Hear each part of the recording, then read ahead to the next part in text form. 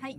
暗いですねいきなり。も う違うのマリリンがはいあまりにもね、うん。あのなんていうか知らなすぎて、ちょっと呆れてしまった。えーそうそうそうゲストビリ ビリケンって言ったら手元の資料にちょっとえー、書いてあっね。ってて言って、もうその絵の驚きで分かったんですけどね、はいはいはい。あのあのビリケンあ通天閣のビリケンさんがああれを持ってくる思ってほんで隣で歌うもんそうそうそう。ゲストなわけないです。まあまあし大阪ですからね審査員いやだからなんかそれユーモアがあるんかな。足向けてねお客さんにね。よくないですよね。一人ずつ足触って。人でいいまあまあまあまあねね有名です割とね。ごちゃごちゃします。からねそうそうかなり有名いやまだ新鮮味が残ってますよね。そうですね。はいまだまだ本当にまだ絞った絞っただけ出てくる。知らないこといっぱいあるから。そうですね。そんなことはない。握力の弱い人にレモン絞ってもうたみたいで。あとどんどん何ぼでも出るも出る。もう二三倍いけるなないけんね。あ金もあるで。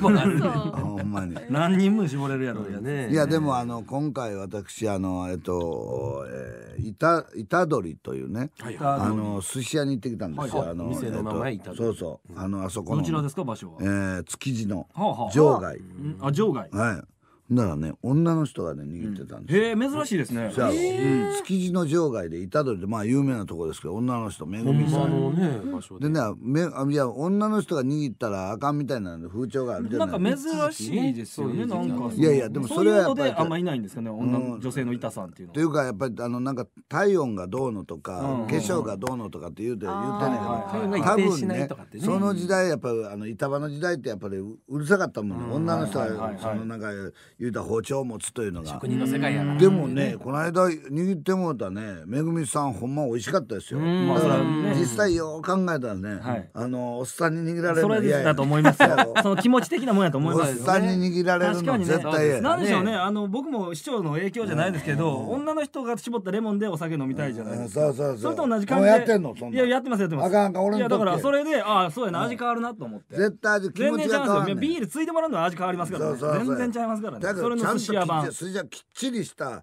日本の割烹着を着て、割烹着。ねねネジ締めてもいいからもうねこうハッピーみたいな松っぽくちゃんとして。でちゃんと調理服を着て。さらしせんでもいい。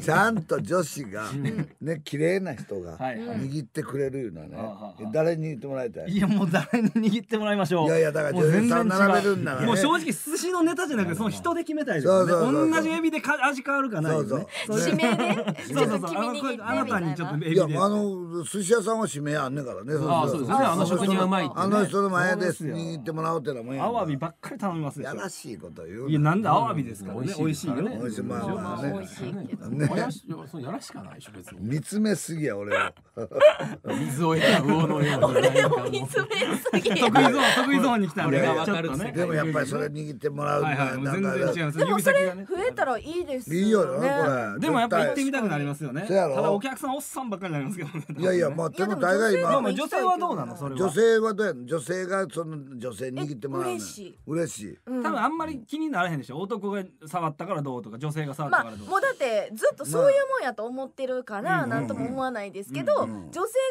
始めたらあ女性に握ってほしいなって思うかもしれない。もしかしたら。いやいやどうなの？福ちゃんは。美味しければ。そうですねそうですね。美味しかった。男性派やなはいはいはい。いやいややっぱこういう。男性派というか。男性派というか。なんとなくねこうイメージですけどうん。わかんないんでね女性が握ったっていうのがあんまり想像つかない。そうそうもうイメージがね男性が握るもん。やそれ想像がつかない。はなんていうかわからないです。からねそのわからない。人によって。でも美味しかったよそのめぐみんさんの。めぐみさんの美味しかった。1.2倍美味しく感じるそうそうそう。でちょっと男っぽい格好してはるからどっちかなと思うぐらいの感じやったんですよ。うん。勝ち気な。感じまあショートカットですからね。はいはいはい。ね刈り上げてる長いのちょっとやかもしれませんねねだから。あそうか。飲食業でねやっぱりやっぱお寿司屋さんってそうですよね。寿司屋でね乗ってんのでね金髪のやつおんねんからあかんで。そんなお寿司屋さん行かんんですか？いやじゃあ乗ってるなんか寿司食ああはいはいはいはい載ってる乗ってんねんけど金髪のスタイル。いや珍しいですよね金そ髪んなもん。ちょっとねこうカジュアルな感じなんでしょうねきっと。汚れの寿司屋って嫌や。いや汚れてはいないでしょうけど別にね。あいらっしゃいました。はいいらっしゃいました。おはようございます。来ましたかよろしくお願いいたします。久しぶりです。風間慎太郎さんです。よろしくお願いします。今日ギターを持っていただいてね。慎太郎来ましたね。これ今ちょねちょうどあの狭間慎太郎はちょうどあのあれですよ。今あの映画のこれなんかう歌歌ってんのやろこれ。なんか主題歌にあ言うてええのこれは。これもう多分大丈夫やと思うんですけどね。大丈夫や大丈夫ですね。はい何の主題歌やこれ？えっと北海道の、うん。えー映画でうん。なんかドドキュメンタリーチックな映画なの。映画やと思うんですけどうん。のエンディングに使われてん「の。はい5月になれば」っていう曲が。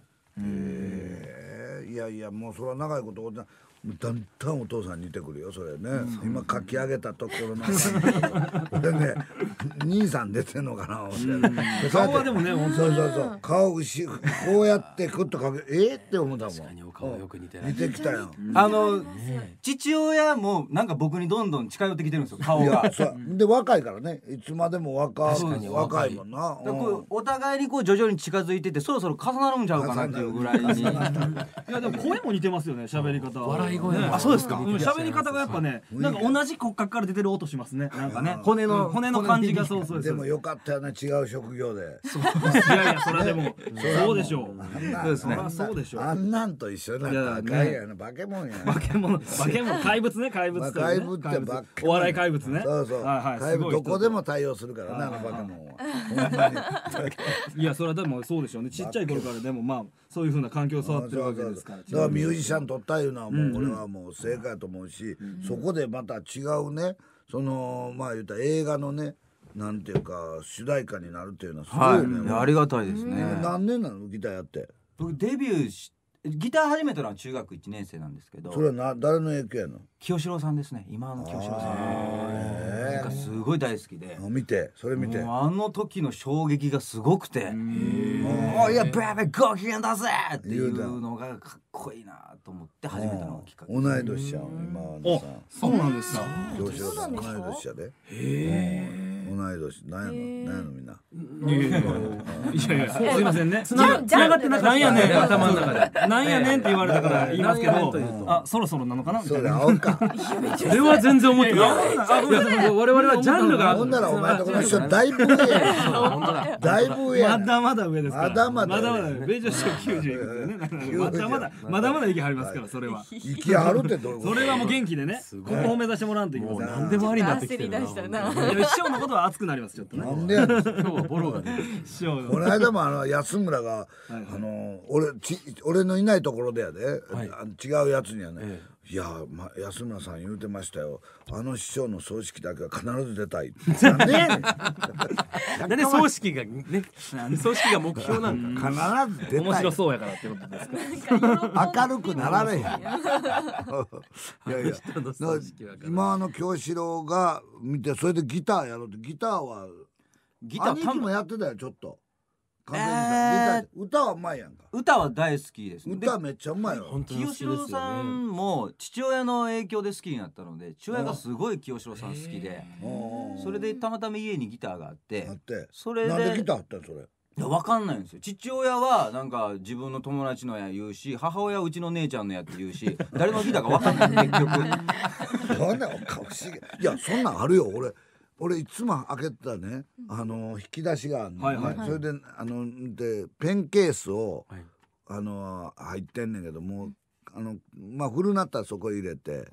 であ新しいの違うの使ってんねんけどこの間その古いのももっぺん出してこようかと思って出すやんか。小さなやつよ開けたら新しいのが入って誰入れたんあれ？俺誰？誰入れたんか分からん。いや女いつも開けてんねんで。パッと「えー？って。そんなとこうちの嫁も開けへんしね。俺しか開けてへんのに。はいどうぞ」みたいに入ってんねん俺。自分が入れたじゃないないない。い。や誰にもだからいやでも忘驚いてれ忘れちゃうことある。お前それ安村と一緒やし。ボボケてきたんだみたいな。同じ本2冊買っちゃったりとかないですか？ちゃうちゃうそんなんもん俺ふその筆箱なんか買えへんよそうですか。中身のね。じゃあじゃあ誰だ誰かね。あの気の利く弟子が入れてくれてるか分かりませんようちのそれ東京でいいやその代わりその代わり財布から抜かれてるか分かりませんけどね。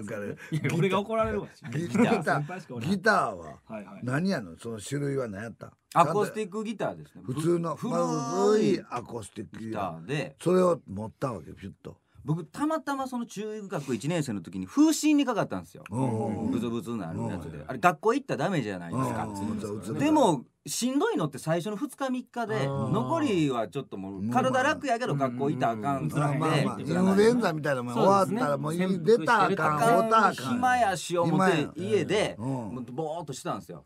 ほんならあそういえば父親がよく清志郎さんの RC サクセションっていう、あの VHS ライブの VHS 見てたなと思って僕かけたんですよ、ほな清志郎さんが「おーいやご機嫌だぜ!」っていうのを見てうわこれめちゃめちゃかっこいいな思ってでもう僕もこんなんなりたいと思って家にあったそのギターを掴んで「不審だぜベイベー」って弾けないけど「ブツブツだぜ!」ってグワーって。やってたんですよえーすごいな。ほな一緒に住んでるおばあちゃんが「あんたちゃう病気かかったんか?」言うて心配して「いや僕はこれでやっていく」っつったらそめっちゃ面白い。れがきっかけで。え風神が元や風神風神だぜベイベーって。もういきなり僕人のカバーせずにいきなりオリジナルで歌って。はあすごいですねこれがきっかけですそれでもなろう思ったってなれるもんじゃないよさ簡単に。いやそうですよね全くお父さんと畑違いです違よね。うよでギターもやっぱある程度いかないと。でそっからそのちゃんと風神ベイベーを弾きたいなと思って。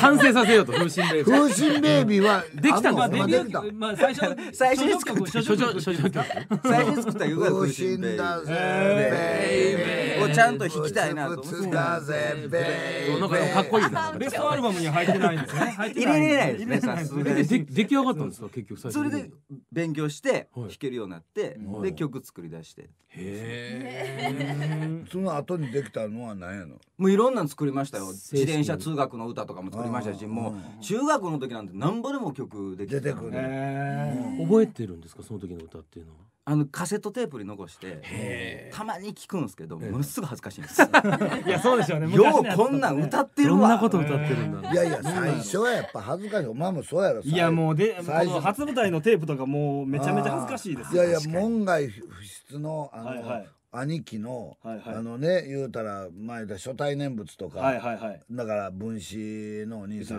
の誰にも出さないのよ、はいはい。でも俺初対念仏やる時やれ言われたから、はい。それは違う人にやれ言われたからともう桂三枝はやってないのかな思って。はあはあは「兄さんある?」って言うたら「いやもうあるけどお前絶対誰にも聞かせない」へえめちゃめちゃおもろいのよ。あいやめちゃくちゃすごい昔のやめつちゃめちゃおもろい。これを出したらあかんってね。はあはあはあ。どういうことなのと思うぐらいうまいよ。うまいっていうかおもろい。のなんかもうすごいパワーパワーうまいのはおるやんか。うまいやつってやっぱりあのそのなんかすっごいうまそうにしてる人とかっていうのはあれやん。素人で。聞かせるというかね。めっちゃおもろいね。これなんでせいやもらあかんねううん。いやなんかそうなんですよね。すごい僕も前で弟子やからそういうのずっと聞いてるじゃないですか。お前それあるいやだから事務所には全部保存してありますんでうん。昔のだから昭和50何年とか40何年とかの音源もあるんですよ。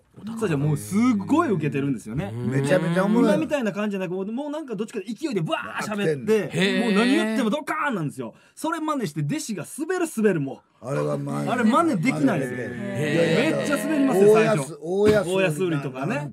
俺兄貴の線とかね。兄貴の大安売りやからそれはいはいはい。ダーンと来て初めはやっぱりその真似真似っていうかそれするやんか。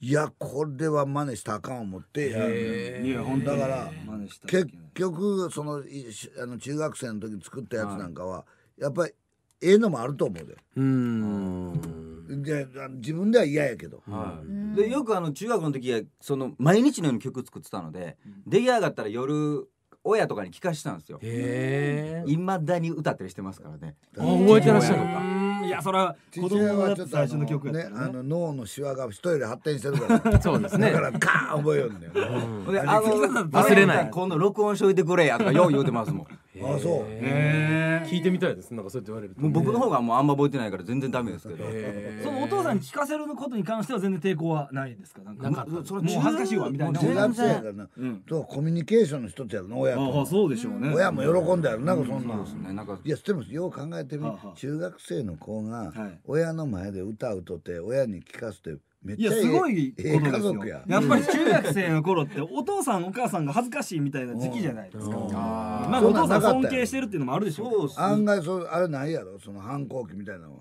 反抗期みたいのはないですないやろ。よねうん。でも全今はちょっと二人きりでは話すのよう喋れないですけど恥ずかしくて、でいやそれは父親の、まあ、ある種偉大さ偉大さっていうのが理解できるようになってるそうですはい。せやろ？だから昔は全然大丈夫でしたね。うん。だから向こうも照れる思うわ。あもうものすごく照れます。せやろ？母親がいないと全然喋れないですね。いや俺と俺と息子がそうやもん。いやまあちょっと見たことないですよね。二人きりでまあねうん。喋ってるっていうの。イメージもつかないですよ。いやしゃしゃそれは師匠が気使うんですよ。それとも太郎さんが気使まあうんですまあ俺の方が気遣うのかもわからないな。この間もあの TBS の前歩いてたらその赤坂アクトっていうところに出てんねんうちの息子の看板もバーン出てるねそれ知らんやんか俺そんなん知らんかったよ、ほんだら今見てきはった芝居の人が「あの息子さん出てました」って言うてんねんけど、で俺それで電話したんやん、はいはいはい。なんか差し入れしたろう思って、はいはい。ねそんな。んほんでなんか入れようか言うたら「いらんわ」言われて。それはもう嫌や嫌やろなそら恥ずかしい。何も関係ないいのに。やそれやっぱ師匠やからってのもあるでしょ。やっぱ直接それってバーンって出たらやっぱり自分の中では太郎さんもね自分の看板でやってるっていうのもあるでしょ。それはちょっとやっぱりもうちもうええやろ。もうその狭間寛平の息子というのも言われても別にええやろ。ももう全然そうですね。そうやろ。あまあある種抵抗する時もあったやろうけども、うん、今はもう全然もう逆にあのこそっと大阪のライブとか見に来てくれてるんですよ。一番後ろの方にいて。逆にこっちがうわなんかお客さん父親のことチヤホヤちゃんとしてあげてくれてるから。ライブえーすごいなそれ。えーライブ終わって違うんやからあのーこうちゃんとお客さん父親に気づいてチヤホヤしてんのかなってこう気になって。これお父さんよかったよってお父さん言うてからお父さん帽子でも取ったらええのにいや気にしすぎでしょ。もう袖で見てもらった方がいいでしょそれ。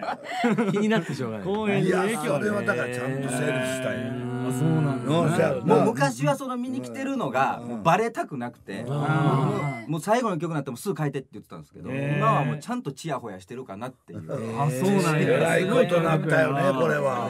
心配になりますね。ええ今日はこの CD も持ってきてんのやろ？はい CD はい。後でまあ本当に実際にやってもらうんですけど、この CD は何がいいの？自分でかけたいのはそうですね。どの曲も好きなんですけどやっぱ5月になればっていう曲。これはどうどういうのであれやの？これはあのー僕35なったんですけどお僕同い年ですあ同い年はい同い年です。35なってこの周りの友達がちょっと疲れてきてる友達とかいるんです 早い 早ないっすか。いですでもなはいはい。芸人以外の35やったら一番辛い時やもん疲れるんですね。サラリーマンやって、はいはい。その下じゃない。そうですね。ね、うん下からの突き上げがある、ん上にはまだパシリのように怒られる。ちゃんと、うん。責任がでちょっと係長ぐらいとか課長ぐらいになってんねんけど、そんなこれやっぱ一番疲れる。もうどどうっていう感じや、ねその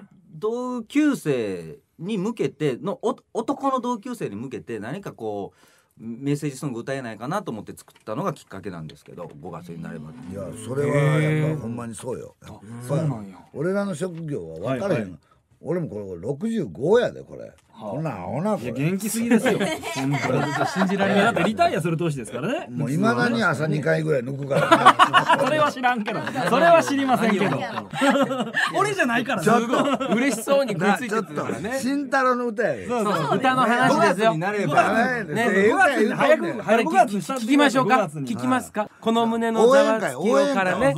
同級生を応援する歌ということで5月になればをじゃあ CD でねおかけいたしましょうあかんの抜いたらじゃあもう聞いたんでしょこれ。はいあの CD 自体は聞かせていただいたんですけど、あの清志郎さんに影響を受けたってねおっしゃってましたけどすごく柔らかい曲が多くてなんかこうホッとするというかね。優しい歌がすごく多いなと思ったんですよ歌ね。声が素敵ですよね。そうなんですよね。歌声はお父さんと全然違うんですねでもお父さん全然違うんですね当たり前歌が違うよ 歌ってる歌がねまた違うしね。なん やチューリップの歌やろあれ そうですね。パパチンコの歌です。でもちょっとね哀愁はあんねん兄貴の歌は、うん、なんかちょっとねちょっとあなんかハートを感じるのよねうんまあ俺ちょっと好きやからやろなあの人のこと。人間的に惚れてるから。親友って心の友って言うてるから。そうですよね。会う会うために兄貴が親友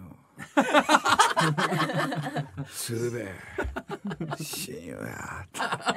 でもそのなんか癒し系の感じもついてるのかわかりませんよね。走ってんねんってな今。走ったたらり泳いだりやっぱ体動かしてますね、いやガチッとしてる意外とごついですよねなんか骨格は。ガチッとしてんね骨あ格は。のそうですプールプールもやっててものすごいあの ロックンロちょっーラーってとあんまり健康的のも嫌あんまりですけどね。こうやっぱこう不健康な感じがかっこいいじゃないですか。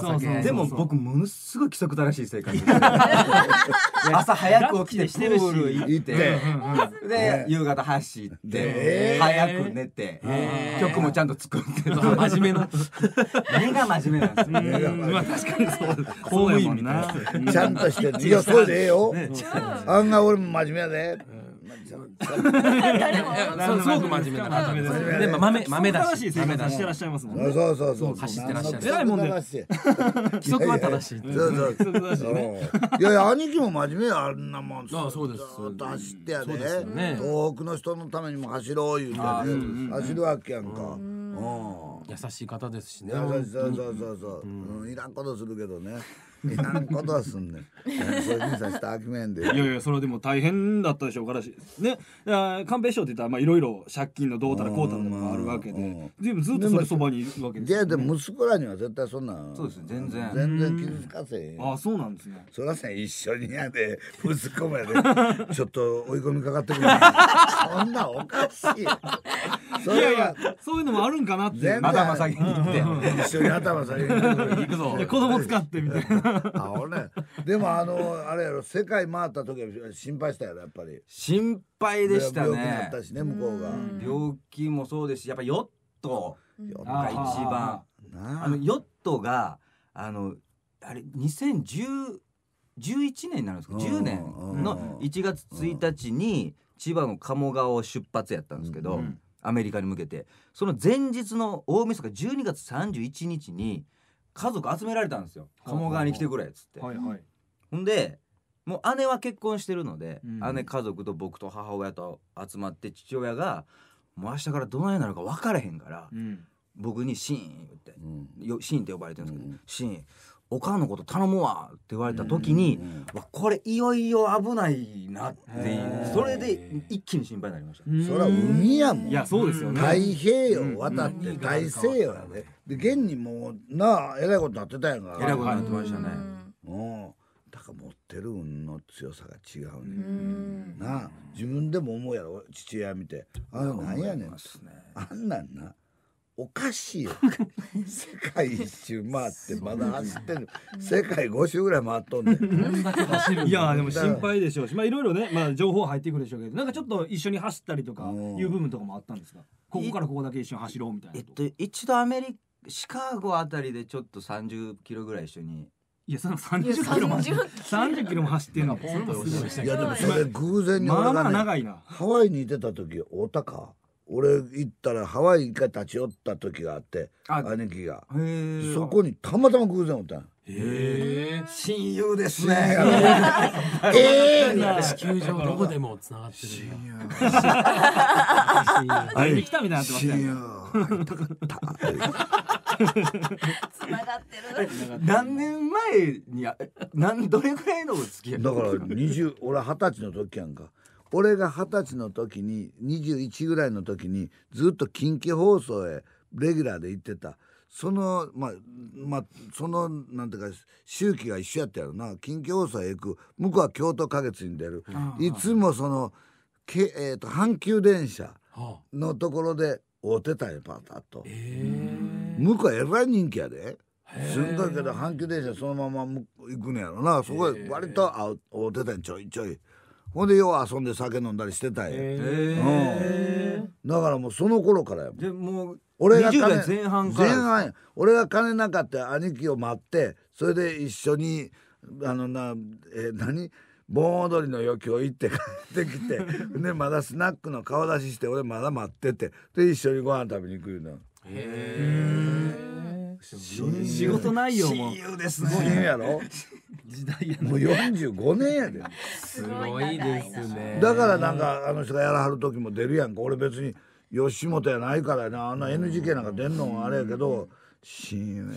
師匠ってその吉本のねあの大御所の方たちともすごい仲いいじゃないですか。そうそうそうそう。でもなんか寛平師匠だけちょっと特殊な仲良さありますよね不思議な。なんかなんか。宇宙師匠とも違うなんか違う何かありもうますねなんかもうなんか本当にし いやだから震災も一緒に行くのよ。震災の復興のやつも兄貴とあいや3回ぐらい行ってるからね。うん。でいらんことするいうのはね向こう行ってそのなんていうの地震起きた時のあのあれを喋らはるわけこんなんやった言うてね、向こうの人が喋ったはんねん女の人が何やらちゃん言う人も忘れたけどここでこうやってやって怖かったからな。あのこうやってもう東北弁でねこうやってもう地面にこう寝たんよって言うね、その時にコロコロがあんねんそばで。で寝た寝たんよって言うたらそのコロコロをねそのおばはんの腹でガーッ 自分のお父さんはコロコロコロコロしたんだよ。それがめっちゃおかしいめちゃめちゃ俺がまたねしばらくしたらででどうやったんですか？揺れた時は。いやだからこうやったんよ。言うて寝ると必ずそのコロコロをねお腹の。からやめなれと。人が一生懸命喋ってんの。にそのね腹でコロコロすんのやめなれ。これ何度も同じパターン あの親友はあれなんですよね。しつこいんですよ。また。しつこい。しつこい。すごい。ね気に入る。と何回もやる。いやだから俺と二人がおもろかったらええ思ってる。だから世間はもうどうでもいい。そうか。それが親友やで。世間はもうどうでもいい。だから雪のものすごい雪の時に二人でもう別れなあかんし。はいはいはい。どうだテレビやで。そうだね。ほんでほんならお兄さん行きますわ言ってね俺がその 雪の中に顔ガンあ間違ったってなんねんけど。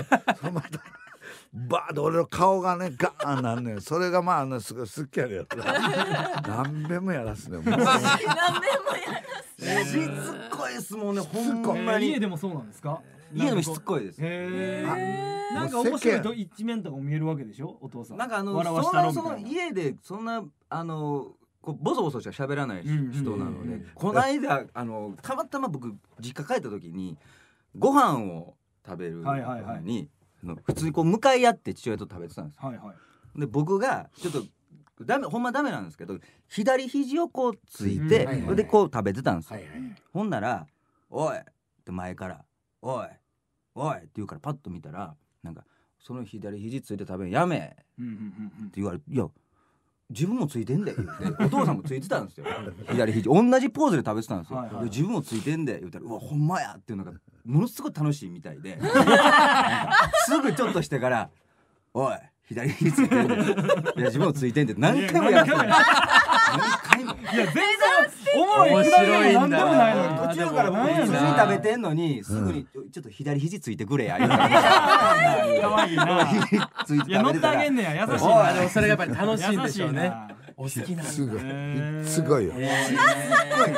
すごい左肘つかないと何回も言うてくるからもうしゃあないからまたついて。それはねさんまに癖つけられたやつ何回もやったらおもろなるっていうパターン。を振られるからもうしゃあないからずっとやるけどもう本人の癖みたいになっても覚えちゃったんだ。俺とカンペ兄さんはさんまにねもう魂抜かれとんねん。操られてるんですか？だから俺はもうさんまと一緒になる俺は松竹やからね、うんうんうん兄さん飽きまへんで。っていつも言われても飽きまへんってお前がおもろい思ってる。いや知らんやんけ俺そうでもあのお兄さん一緒に明石家とかやってるからもうずっと言われるやん、俺一緒やったら言われるから絶対嫌やろ兄さんそれ後は飽きまへん。輩避けるってどういうことなんですか？もうそれは飽きませんわ兄さん。そこは違うねん。こうせなとか言って。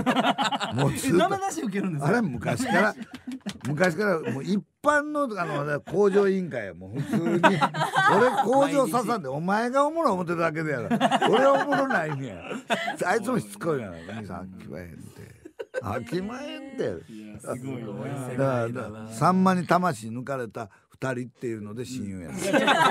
被害者の会みたいなさんまの被害者の会や俺はうまいこと逃れたわけそうですね。あの人はもうずっと一緒や。ねん同じ吉本で吉本でずっとだに67でよう怒られる言うてましたから。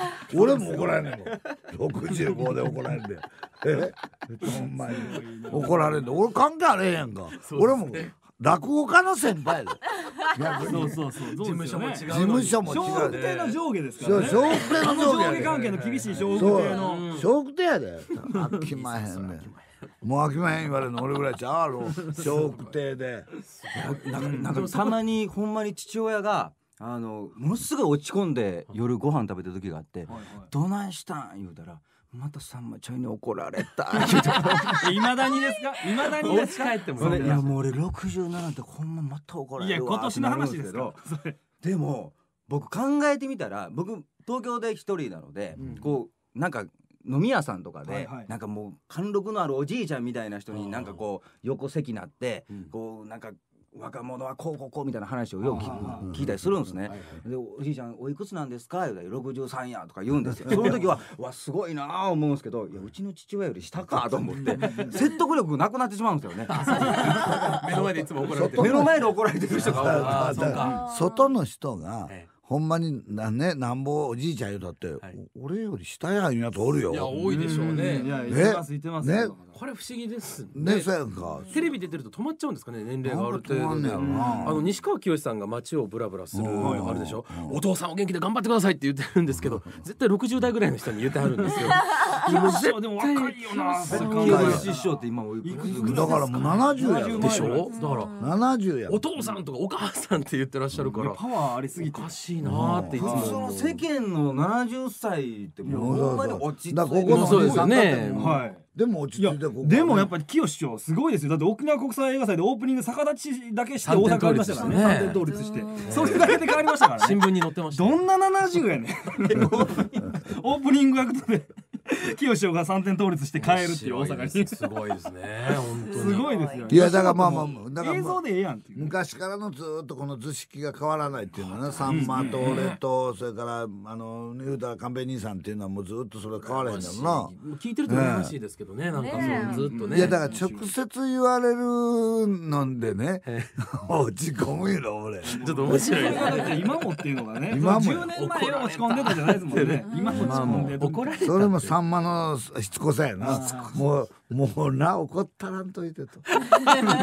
来週頑張るわーってまいたやいやもう言うてるんで何十年もやってる番組で17歳まだ頑張るんやったら僕もっといかなかったででも夢がありますよね。そんなもんほんまやってそれは。ね。だからだから5月になればは。お前ですね。35で落ち込んでる場合やないっていう。35の自分の同級生に向けてんねんけども、67の人が 自分の父親が落ち込んでんねん、幸せやであれ、素晴らしいですね。幸せですね本当に。幸せやであれは、ああいうさんまという人間がおりまた寛平兄さんが人おるというのはもうここまで来たら幸せやでほんまに、うん確かに。羨ましい。いや。そそんな関係の人います？だって三四郎さんい今の段階で。いやいや師匠がめちゃめちゃそういう怒ってくれる人ってこと。うんいやいやそれはもうあいやいやどういやあ同級同生世代ってか同世代でやっぱり。後輩とか。うんまあ怒られるってないですよね。ううん。んうんうん。そんな。じゃあ逆に怒る側ってこと怒る怒る。飲まない。怒る。友達がいないといや友達に怒ります？そんな。とか仲間っていうかうん。仲間内みたいなの？いやいやそれはお前ああかんでってめっちゃ言い言いますよ。言いますけど。言いますけどそこってあかんで言いながらちょっとおもろいみいたいな。やこっちはまあでももっとしてやんの感覚まあまあまあでもその怒られることもちょっと楽しんでんねうん。怒ってる方もちょっと遊んでるわけですよね。そううわ来た来たっていそうこれ引き出したらおもろいでが絶対あの明石家さんまに怒られるってねちょっとおもろいよ。いやそうでしょうね。ちょっと嬉しいやんか。あの愛のあるそうそうお怒りですもんね。じゃあほんまにあれやったらなそれはもうあれ全然そんなんないねんもん。でも俺関係ないよ。俺関係ない。正直やしないやでもその怒られるという構図がもうすでにおもろいからいいですよね。なんかね。いや師匠もそれ考え思ってるでしょうけいやどおもろいだってるけどやな。だからまたいらんことも言うねん。さんまは元嫁と今度ラブ あのベッドシーンするねいらんこと言いな。い怒られようとしてるじゃないですか。そんな報告いりまへん S ねんと M の非常になんか不思議な感じ。そんな報告いりまへんねん。ううてですいらないいらないでしょうね。なんとほんまに入れよう思ってんねんけど。なあなんて怒られようと思いますから。遊んでる。っていうか世間にも怒られますよほんまに。遊んでる遊んでる。その奥様にも怒られますし。まあそうやな。人なに怒られる。楽しんでるなこれはあのまあはい。言うたらこのこのドキュメンタリー北海道のドキュメンタリーやの？このあのえっ、とこの胸のうんこれこのドキュメンタリー、えー。何やの映画？このホースマンホースマンの順序。知らんの？ねあれ？さっきも思ったんですけどあまり知らないです自か分では理解これ？いつだからなんか北い海道の。つそのなんてなったん？そのこれなんでって主題歌みたいな。アルバムが完成してうんうん。それでちょっとしてからうん。レコード会社の人に、あの北海道の、えードキュメンタリーっぽい映画の、えっと、エンディングに決まりましてっていう話を聞きまして、でじゃあ今度じゃあちょっとその映画を、はいはい。あの登録じゃあ見ましょうねって言ったのが3か月ぐらい前で。見たの。見てないんだ。届いて届いまあてそうでしょうね。届いてない。そうでしょうね。全然情報がドキュメンタリーっぽい映画や言うてもう全然内容も分かってない。いやでもね5月になればってこれ浜ちゃんがもうあれそうやし、はいエンディング、ねめちゃくちゃエンディングがいっぱい。ろんな番組で。はっきり5でもエンディング、FM 大阪も。えいろいろと。ー、天竺ネズミ川原の。すっぽんぽんラジオにも エンディングテーマ。うんいや断るのもあってええねんで。な中でもやっぱりホースマンの順序北海道日高市の地域映画。あの馬の成長を描いてる。あーなるほど。馬主さんというか馬を成長させる方の。話そうですそうです。日高っていうとねそうですそうです。馬ものすごいね競走馬気になってもいやいや知らない。私内容知らない。全部想像で言ってますからね。あそうなの？北海道日高市でホースマンやからおそらくなんかね馬のなんかこう成長の話なうのかなみたいなまあなんか馬に関係ある関係あるよ人のな日高やからっていう。話で。想像ですから私も。で5月になれば。どんな これは楽しみになってきた、ね、地域映画って書いてありますそうねもうでも流れてるんですかねこ映画自体は。ホースマンの順序は。どこで見れるんですか？あマネージャーも知らんみたいやな。沖縄映画祭で流れた。流れた。流れてるそうなんや流れたよ沖縄映画祭って。いや沖縄映画祭映画流れたんや。そっちの方が 映画祭沖縄映画祭は行ってないの？行ってないです行ってないの、はい。ああそうか。すごかったですよほ今そのなんていうの？今度今度のコンサートやってもそれもちろん5月になればも歌うし、はい。この胸の、えー、ざざわつきってっていうの？ざわつきってやろ？ざわつきおタイトルアルバムタイトルが「この胸のざわつき」おうでで歌が？この曲名は？胸のざわつきって。うんこれほんまなの？ほんまですよ。ちゃんと収録してます。あんまり自分のこと把握しないようにしてらっしゃる。でも忘れる忘れるタイプ。忘れるこのアルバムの中はい。の「ダミー」っていう曲めっちゃ好きでした私。え面のお白い。なんかあのアレンジもねちょっと変わってってね。そこれはもううダミー。僕たまに作る妄想系の曲ですね。面白いなと思って。へほいでそのダミーを聞いてみましょうよ、あのーこのねブルースハーブルースハープ。あれひ自分で弾いてんねんね、うんすごいですよね。本当面白いこの曲。なんかすごいお気に入り不思議なみたいですね。世界いや本当大好きこれ。うん。なんかね。なんか今まで本当に聞いたことのない、なんか見本のない歌みたいなのが、これは何時頃作ったの、ね。これな。あこれですか？うん。これはもう午前3時ですああそんな感じ。いやまさにそんな感じですよね 午前3時に、えっと広島にツアー行った時に、ライブ後打ち上げ終わって午前3時に一人で道歩きながら、こう作ったことです。月の明かりに影影一つほろよ ほろ酔いでちょっとララップっぽい。こう空を見上げながら、え月の明かりで影一つ。親友がそんなんよう言うね なんか時々言うでそんなん、何言うてまうのにさー、痛いから言う。月の明かりでいや作風にも出てくるっていうのはおもろいですね。でもお父さんちょこちょこ垣間見える猫背の男の影一つ。血が入ってるんですね。血入っとんね。んこれを曲にするのがね。ねでまたかっこいいし面白い。そうですよでも面白いし。でお父さんやったらこれがすごいギャグにギャグになってるでしょ。なるんだけどものすごいおもろいギャグになってこ曲になっちは曲になってる。お父さんのまあ言うたらよく喋るなんかなんかけたこと言うやんか、あんなんも歌にできるよねあれ、お父さんな。確かに。えーアメマ的なアメマンやし、はいまあ、はい。あの引きずり女もそうやし、あれかいいのもね。そうせ、猫背の男もよう似てる 引きずりよ引きずり女。あ確かになんかえなんかおねねリズム感一緒ですね。月の明かりで影一つ。引きずりいや女ほんま引きずり女が服を呼ぶと一緒や。リズムが。猫背の男が影一つ引きずり女が影ほんまや同じ頃やこれちょっと父親に作ってあげましょうかな。いやいやいやだからもう知らずうちに降りてきてんねん。て、いややっぱちっちゃい頃か5ら聞月になればと全然違う。全然違ううなんかこれ異色で声したね。がねまた違うっていうのも聞いてた、面白いいやであのあれも良かったよそのハープ、うんうんはい。なあれも。あれがやたらかっこいいんですよね。ブルースハープコンガとかもね。でこれを入れようとしたわけでしょやっぱりその、うん、そうですね。でツアーの時あれもちゃんとふわーっあの首から下げて。てやんそれは分かってるけどね 見たことある。いやあのブルースハープが出てきはらへんかったから知らんのかなと思ってね。あ知らへん人なんかな子供に教えるか首から下げてから下げてね。落ちへんねんね。ねそう。ギターにつけてるわけやないねんてやるやんか声出してもファーってならへんねんでっていうちゃんと教えてくださってるわけですから明かりに影しとえツアーはややんねやろえっと大阪がですね、あるんですよね。はい、7月24日ですかね。はい。はい、日曜日、大阪心斎橋のパンゲアで。ゲアで。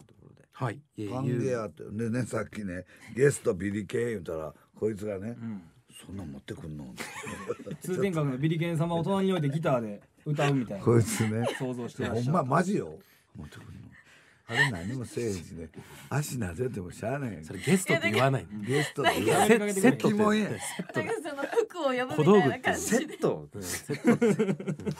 セット。人人で言い張ったんですねビリケンさんがで有名ですよ。結構。あの二人組で。多いですよ。そうなんですか。僕もちょっとまあまあ失礼いたしましたあいや有名ですあ本当に。の勉強不足で知らなかったですけどでもビリケンさんが来るとは思いませんでしたそうやろいやなんかで夕方5時半にスタートというかか、えーオープンで、えー6時にスタートするという、はい。えーご出演は先ほどおっしゃいました通りゲストにビリケンのお二人を人間がしてで。すね。人間やね、うん。お二人ですね。前よりでもビリ3000円の当日が3500円。えビリケンでどっかでなんかやったの？一緒に。どっもうかで昔から。やってんねん。はい。デビューが近くて。長いこと。へえ、はい。ウルフルケイスケは？ケイスケさんもイベントとかフェスとかで。東京でやられる時に出られるということですね。へえ7月の10日ですねこちらは。え松室正正也は？せいやくん。せいやは？まだ若い25とか6とかの男の子なんですけうど。んへえ名古屋サンセットブルーで、えー、6月の19日、日曜日ですねこちらは。はい。だから年間どれぐらいのツアーをするわけ？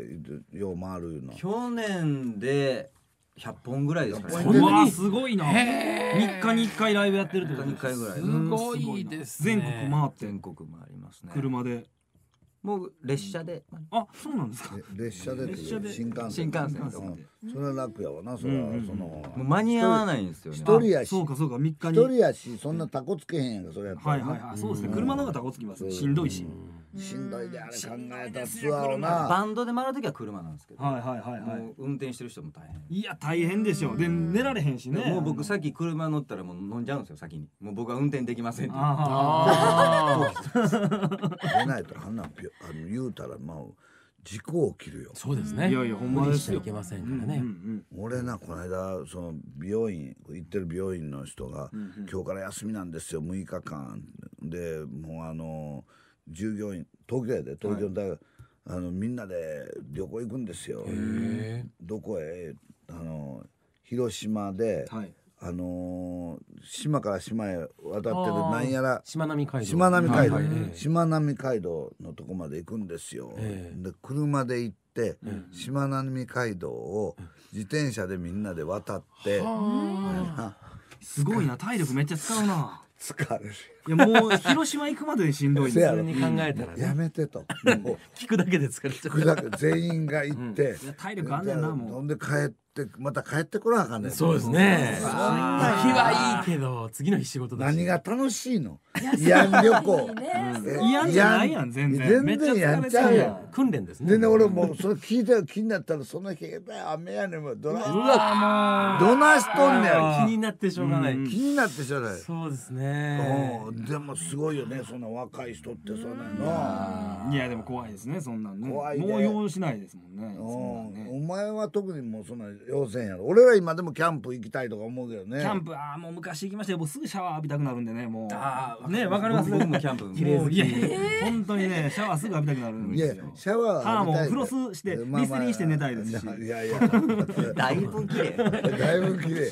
いやいやでもなんかそんな行きたいのいまだにあるよ俺あのそのね気持ちはあるけど。気持ちはあるんだよまあ2時間半ぐらいやったらいいですけどね。何がやの？あの2時間半でキャンプ終了するんだったら一気に全部わーってやって2時間半で片付けて逆にしんどいでしょ。そん。一な気にギュッとして。いやしんどいです。キャンプファイヤーもで全部もしたい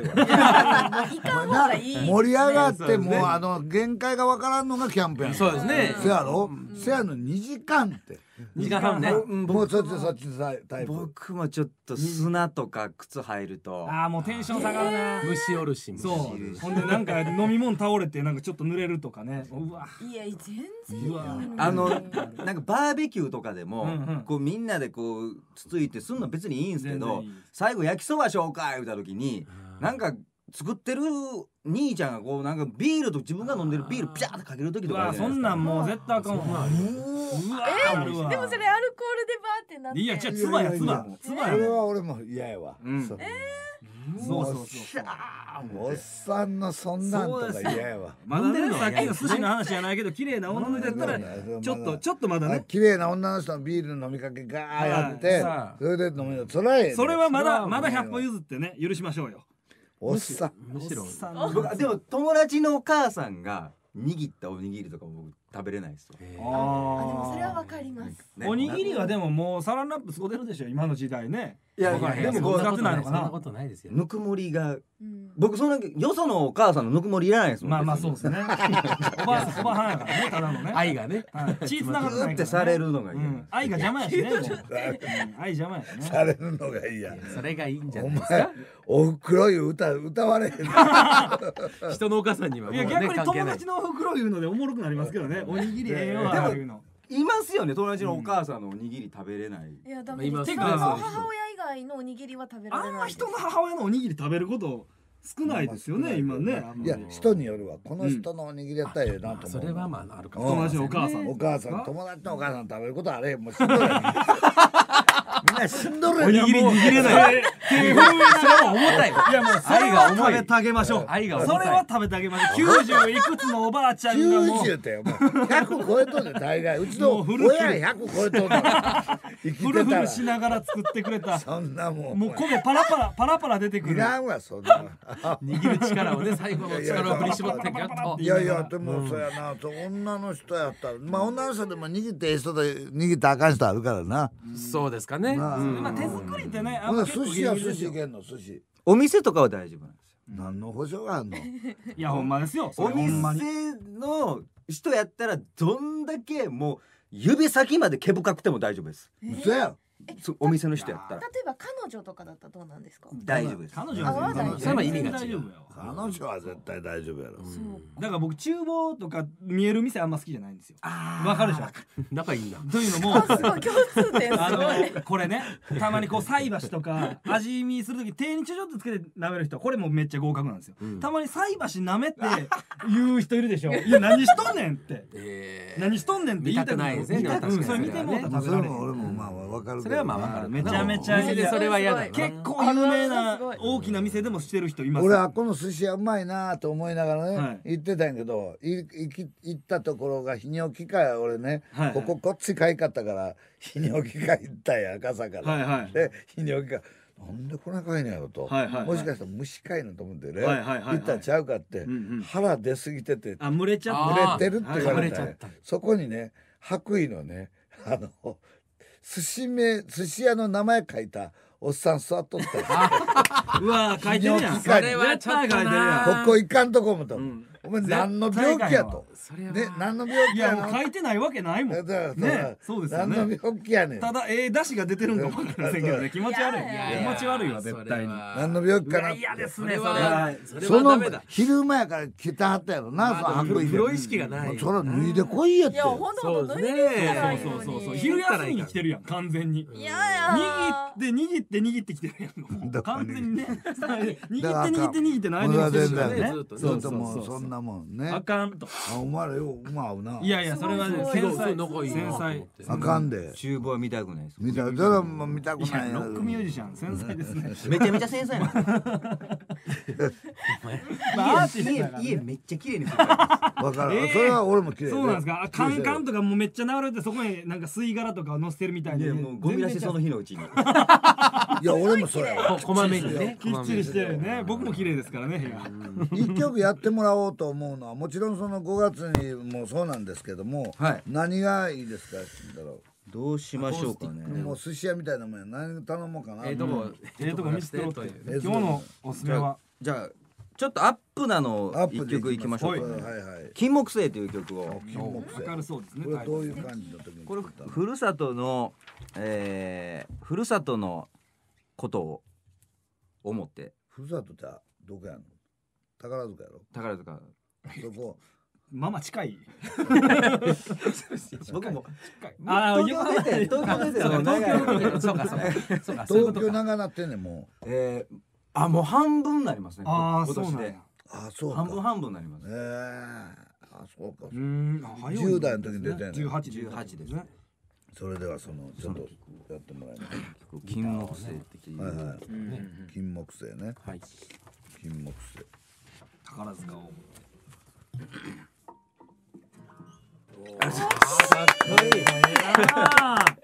いやもうギター自信持ってやってるよね。そうですね楽しんでればねええわ。いいですいや改めてそのギターを習いに行くとかとかなかったんでしょ？習ったことはない今今がずっとそうなって。この風神ベイベーから。風神ベイから習ってないですね。まずベイベー。はい新聞えすごい。そうやね。やっぱりもう習わないんやろねそんなんは。全然うん。なんかもう弾いてたらこう覚えたって感じ。あれミュージシャンっておかしいよね。ピアノも習ってないのに。なんかこうやってこうあこれうん。これこうこうって何でもやるよね。体ピアノもそうです。習ったねええピアノやんの？やりますよ、えーすごいな。習ったことないですね。でもみんなやんねんで。あれ不思議やでこれでこれでこれで。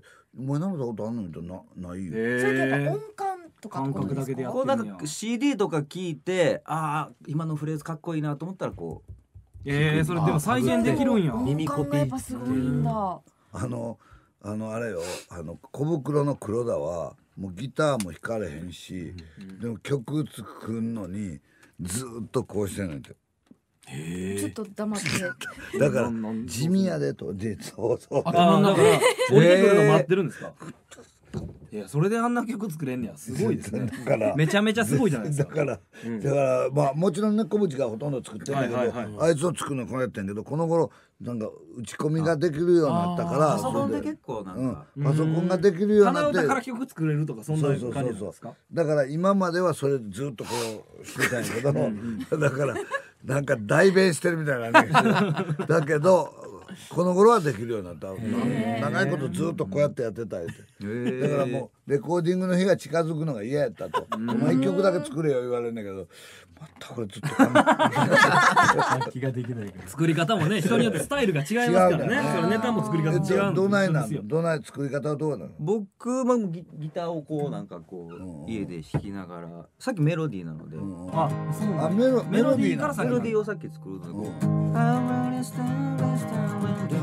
うみたいな感じでこう適当にへだからそれもねラララからそれもこ小渕が作った歌をはいはい。全部その「1年年年年年言うてうんうんうん。入ってる渡されてね。てそれを名曲に仕上げる。いやそれだからうん。詩はまだできてない段階でこんなんや言うて黒田に渡すねんけど何言うてんや。それがあんなねすごいいやすごい名曲になるわけですからね。みんなの心を揺さぶるわけですよだから最初はねそうやろな。作ってるとことかもやっぱ見てみたいですねミュージシャンの方が作ってるっていうのね。えっと家でこういろいろだから防音にしてやるわけ？いやいやもうそんなガンガンは弾かないので、うん。つまびきみたいな感じで。でメロディーだけこう取っといて。うん。レコーダーに取っといてそれをずっと聴きながらこう月の明かりで影一つ。いやもう走ってます走ってますよ完全に走ってますやんけ。完全に歩きながら。こうへでも忘れる時あるからこれフレーズやったのここ何やったやろっていうのあああものすごいありますね。気持ち悪いやんか。気持ち悪いです。えー俺らでもそんなんあるよ。あれ何やったかいないうのあね。面白い面白かったな。あの一言おもろかったな絶な対書かなあかんのよ俺はね。ん。うん。だからそれを書けるか書けなきゃ気持ち悪いもん。あだから曲作りの期間はもう締め切りとか近づいてくるとやっぱり眠っててもずーっと考えてるので、ん。パッと浮かんだりする時があるので一応もね。うレコーダーうん。置いてファッとすぐ撮れるようにしてあるんですけど、ーでも大概起きてから聞くとそんなよくはないんですよ。そうそう。俺一回ね夢かもっとだいぶ前やけどね夢見たようまあまあ見んけど見た時に書いたらね絶対おもろいやるな思って夢書いたんやけど、はいはい。絶対あかんわ。ん な全然面白くない。全然おもろない。全然おもろない。夢めちゃくちゃなります。世界観むちゃくちゃですからね。自由すぎて。うん、あーでも人によっては違うねんな、はへ結構すぐできちゃうんですか？作る時はメロディーはすメロディーはすぐできますそこに歌詞を流し込んでいく。歌詞がやっぱ時間がね。えー。まあまあねずっとなんとなく。ーまあいいか言葉が出たいやんか、はいはいはあいでもこれ歌詞って別にこれ五七五とかになってるわけじゃないじゃないですか。言うたら、これってそれを曲に無理やり当てはめるために歌詞変えなあかんとかもあるわけでしょ、そうですね。このこのフレーズええのにここ合わへんからちょっと切り取らなあかんわみたいな、そうですね、うんうんうん。メロディーを直す人もいるんですけど僕はもう歌詞をバシッと切るう方んがちょっと気持ち悪ないですかそんなんて。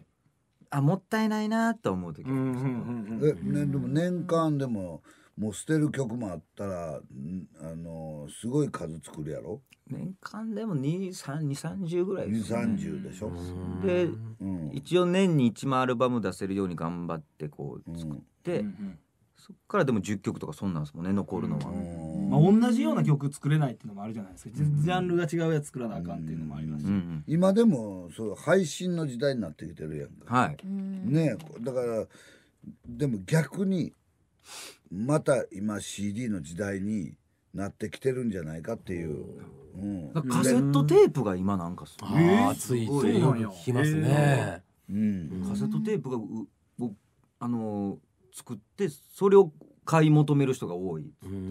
ああだからカセットテープをミュージシャンの方が作ってそれを売るいやめっちゃ昔のあのバンドのね人らの形ですよ。デモテープの形。そこにあのね挟まれるのか。昔は昔はってまあそのちょっと前ぐらいやけども、え。その例えばそうやねあのレコードを売ってる人たちがそこの店員さんが好きな曲を選べてこれを一押しにしようとかいうのがやってた時代があんねん、はいはいはい。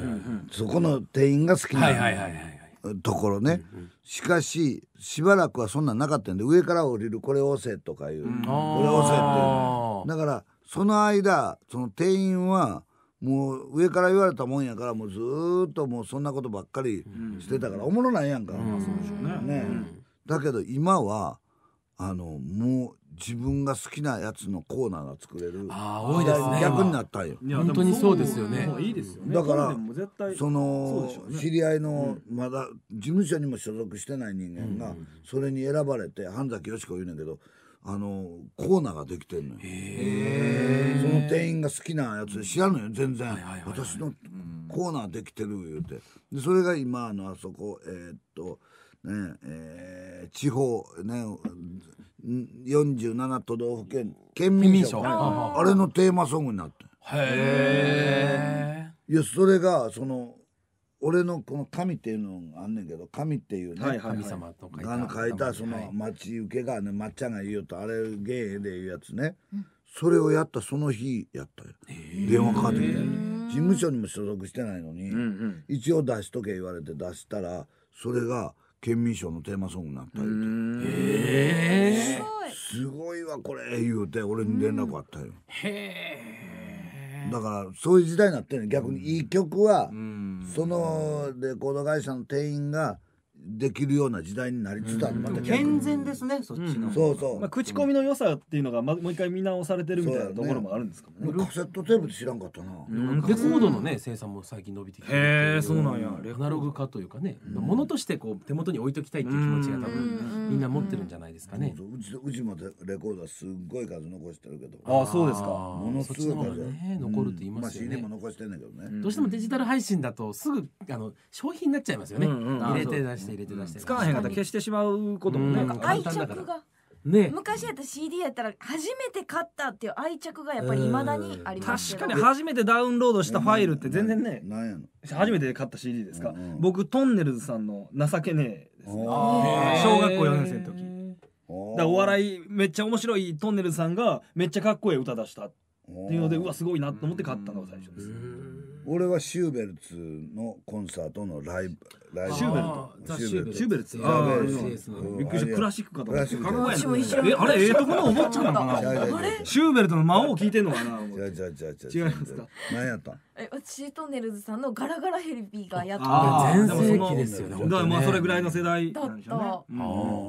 僕はカモン達夫さんの CD でした。最初に買ったのは。あのえ？子供小学生だったからやっぱりねうん。面白いから。ハンバーガーショップとか。それで古い歌覚えたとこもちょっとありました。ねええ何やの知ったろ僕あの耳をすませばっていうジブリの、はいはい。あのカントリーロードああーでも結構中学生ぐらいになってからなんですか？中学です。ねそうですよね。えすごい未だに好きです。ね持ってますよねその時買ったものって。うん。うんで久しぶりに出てきて聞いたりすると嬉しいですよねなんか当時のことを思い出してっていうのは。いやだから僕らはこうそのなんていうの？選曲やってるやんか。はいはいあのあの言うと東京はいはいのはい。ラジオの。だからその選曲やる場合はそのレコードであのやるのよ。これがいいなと思った。昔からのやつはね。昔のやつよ。うんまあデジタルで音源ね残ってるでしょ。うる残ってるからね。レコレコードも残ってるしはいはい。あのなんていうの？蓄音機的なやつもあるかあらー。それで聞くねめっちゃええでその時代も思い出すし。なんかレコードの音はまた独特でいいっていうふうにね、レコードなんかね CD では出ない音域のところがなんか。探す時が多分楽しそうですねレコードの方がこう。俺とこは例えば吉田拓郎やったら吉田拓郎井上陽水全部ちゃんと並べてんの。へえすごい。几帳面やでちゃんとちどうしてもぐちゃぐちゃになっちゃいますもんねあのね。だからあの並べてんのが好きやねん並べんのがきっちり。並べてますね。で自分のまあ昔はね1位をこれにしようとかいうのやってたあってのがあった。わうきっちり並べてんのよ。並べてます、アイウェイを順にこう。あ 洋楽コーナー邦楽コーナー。ーお店みたいな。やってんの。え。ブルースジャズ自分の歌どこ何してんのちゃんちょっと歯のところにちゃん と。特別扱いしないですすごい。あーすごい店員のおな。すすめみたいに平積みみたいにね表にはしない。そうなんや。ちゃんとへーあちゃんと背拍子のとこだけ。みんなの一人になる。特別扱いしない。しないですえ自分のポスター貼ったりとかもやっぱしない。えポスターは貼って貼ってるんですね。ラウンセールって書いてあるんですね。ン自分しか見えでも間そのねあのライブなんかは慎太郎なんかちょっと喋っそのライブの間の喋りってめっちゃおもろいやろいや絶対ね。面白いでしょうし。うん。あの一応あのなるべくこうあのやっぱ時間がイベントとかやったら時間がこう限られているので、まあ、ワンマンライブはもう好きにやっていいんですけど、イベントの時はなるべく時間限られているので、おしゃべりしないようにとは言われてんのはいだって一曲でも多く歌いたいですもんね。でも1分でも多く喋りたい それはあのやっぱお父さんと同じ商売になってますから。でもたまにあのこのライブそのイベントに向かう電車の中とかでうわこれ面白いな喋りたいなと思って喋っちゃう時はもう一曲カットしますけどね。そういう本能本能あるんですね。うん。どっち取ろうかなこの曲と今日のこのエピソード。いや曲こっちか。取ってくれ曲を曲をとまあまあね一番生ものやからね。でもお父さんはそういうのは間喋れへん お父さんはそういう師匠のライブって見たことないから分からないですよ喋りはあれははファファだから字の喋りあっても せえへん。な字あんまり字喋りせえへんな。どう喋ってや分からへんもん。はファどう喋っていいか分からないすごいしかし俺には注意するなあの人ね。へえすべわかんで。なんで俺カンペニアに怒られなあかん。はいはい。あかんでお前。わかる。へあかんてお前は そんな言い方し優ます。しい言い方ですよ柔らかいね。柔らかいもう笑ってんのに最初さんってあかんで。あかんで。あかんでのあかんでは全然ないのに。うんうん。あかんでお前って。続きだけ知らなくなってるでしょうね。言いたい。あかんで。人にずーっとさんまにあかんで言われてるからあ言いたなってる俺俺に言いたなってんの。あそうか。言えると思って。もうあかんでお前あかん。もう全然全然あかんわ秋葉やん。のあかん いや何があかんねや内容を知りたいな。何やろな。内容は分からんけどあかん言いたい言いたいな。んて言いたいめっちゃおもろいで。さよさほど内容がないことばっかりずっと二人で周り何がおもろいわかる 商品化できへんもん。商品化。あの人ライブ録音ね。意味わかんなかったね。二人で喋ってんの商品化ででも面白いってのはすごいですね。でも面白い。二人だけに分かる空気。そうそうそううんまあでも今の金木犀はなかなかやっぱかっこいいですね。ミュージシャンの時の顔とこいい。ミュージシャン狭間慎太郎の顔と、やっぱり寛平師匠の息子という狭間慎太郎さんの顔全然やっぱ違うわけですからギャップがねめちゃくちゃやっぱミュージシャン金木犀よかったよかっこいいありがとうございますもう一曲やってくれ。あじゃあちょっ本当に寿司屋さんみたいになっちゃって。どれ握ってもらおうかな。とじ最後。直直で。いいやつ。今日今日いいやつ。なんぼでもなんぼでもあるから。金はなんぼでもあるから。なんぼでもある金なんぼで出せ。領収書だけ聞いて。領収書客だだけやらしとけ。嫌な客領収書領収書だけ最低の客だ。いいしもちゃんとつけといてや。いいしもこれ払わんで。なんぼなんぼだけの歌っていいですか？ミニコント始まっちゃった何を？えっとじゃあえっと溢れ出すっていう曲を。えそんなんあった？俺らはい。これをはいいやー面白かったね。ありがとうございますやっぱり生で弾いてもらえるのそうですね。うん。うん。やっぱさっきまで喋ってたのとガラッと空気が変わるのがやっぱミュージシャンかっこいいなってあ思いれますね。もうもうやっぱり昔よりもずっと自信持ってるやろその何かやるっていうことに対しては。そうですね。うん。あのーもうそれもやっぱライブをたくさんやっていくうちにうん。なんかちょっとずつそうですね。失敗も繰り返しちゃうねすごい失敗もありましたしね。うん。はい。ライブを今度ありそうですね。歌もおしゃべりもどちらも楽しいということですが、狭間慎太郎さんのライブツアー2016ロマンチックな男の旅というサブタイトルがついております、えー6月の4日広島を皮切りとしまして大阪では7月の24日の日曜日大阪心斎橋パンゲアで行われます、えー夕方の5時半にオープンしまして6時にスタート。ご出演は狭間慎太郎さんとゲストにビリケンさんをお迎えしてということです、はい。ぜひ皆さんも行ってみてください。よろしくお願いします。今日ラストの曲ですけど、はい、えーそれではこのサブタイトルにもなっております、ロマンチックな男こちらをね。すいませんあのめちゃめちゃケツ書いてたんでちょっと笑ってましたすみませんすいません。師匠めちゃくちゃケツ書いてたまあロマンチックな話を話してんのに。めちゃくちゃケツ書いてはったんでそのまあまかんで。あかんで。寿司だけは食いたないそれではロマンチックな男でお別れでございまですそこあこかんねん